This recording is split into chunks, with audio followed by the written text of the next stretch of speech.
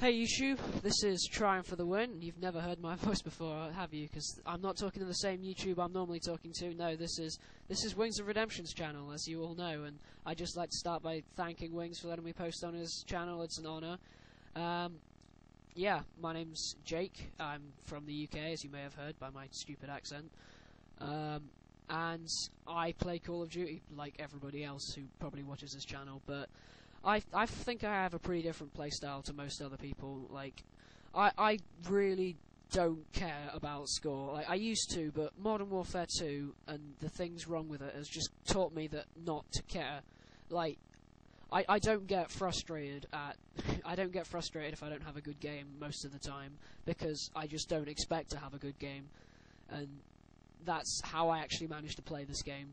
Um, one of the uh, so well, so I play really offensively uh, with my gameplay. Like I just rush about like an idiot and get lots of kills, but lots of deaths at the same time. But that doesn't bother me. So uh, uh, one of the reasons I play like that is because, unlike a lot of other people, I started out with World at War. Like I played World at War before I played COD 4, Modern Warfare 2, whatever, any other shooter like that. And World at War, rather than COD 4 and um, Modern Warfare 2 is an SMG based game. So the overpowered classes were all SMGs. M- you all familiar with MP40 Juggernaut and how many times it's caused you to throw your controller at the screen, whatever. But I, I didn't. It didn't bother me because I ran around with Thompson stopping power and e- extreme conditioning. So that was my class. So from you know, I was born into the Call of Duty community being told to run about, and that's how I play now. I run about.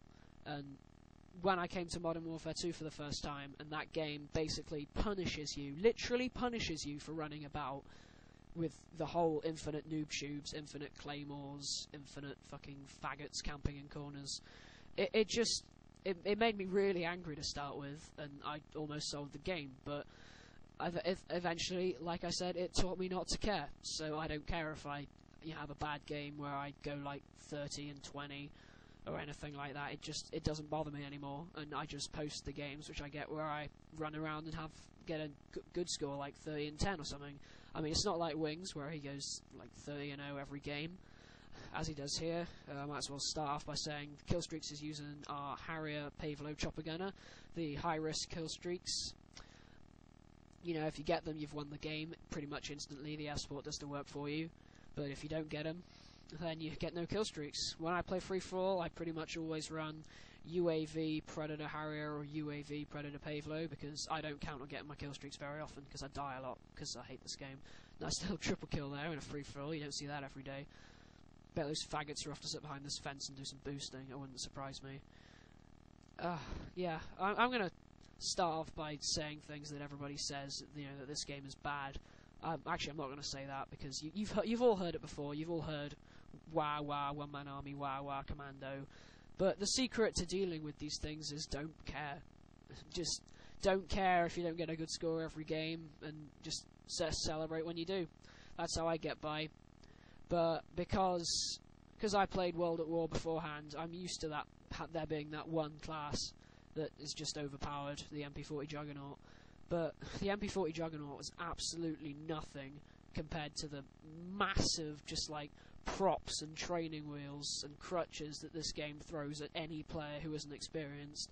Like, think about it. You start out, this is your first game, you've just about worked out what shoot is, and you've already got Painkiller. You've already got noob tubes on your class when you start. You've already got everything the game throws at you, and you start out and you are accustomed to having noob tubes. You are accustomed to having the most overpowered thing at the game thrown at you, and after you level up 40, 40 odd times, you get super noob tubes and infinite noob tubes, and you're like, it's like a gift from God, and you don't understand this as newbie because you've never played games where it isn't there. It's just born to you, and now it's it's put all those new players, and you know there are you.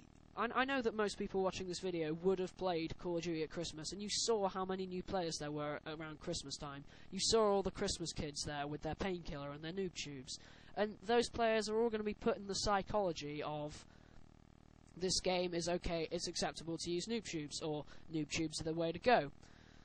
there you go. I'm done bitching about this game now. Wings shits on people and goes 30 you know, as usual. You've seen this all before.